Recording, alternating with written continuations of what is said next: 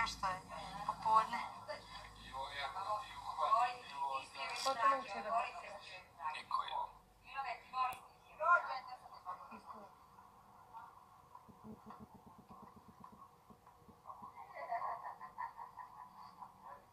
A oko ne oko mene. Nemoj budala. Sad si. Eno će da me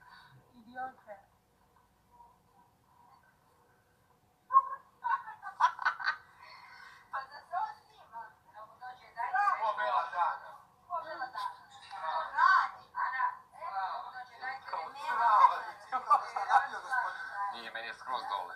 Ja nisko nosim. Milane, varaš me na moje oči. Varaš me, varaš me, dva mi opet. A ti Ana kurvo je. Ljubavi, što si lep tako? Kurvo je.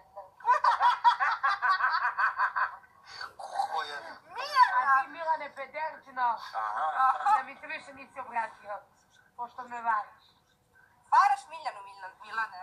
Juče mi izjavljuje ljubav, kaže kad izađe... Ovo ti vraćam, čuti bre. Ti Miljana si top, trudna pojaho na tebe. E, Miljana, ovo ti vraćam za Filipa. A, To. Da. okej.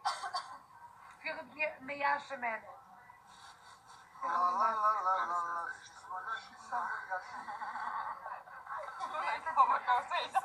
Ovaj, 45 minuta unutra.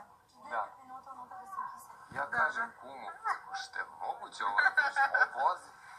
Ali svi su naši samo naši. Ja, majko. Nikola, možda mi daš 10 dinara? Johnny, šta ima, brate?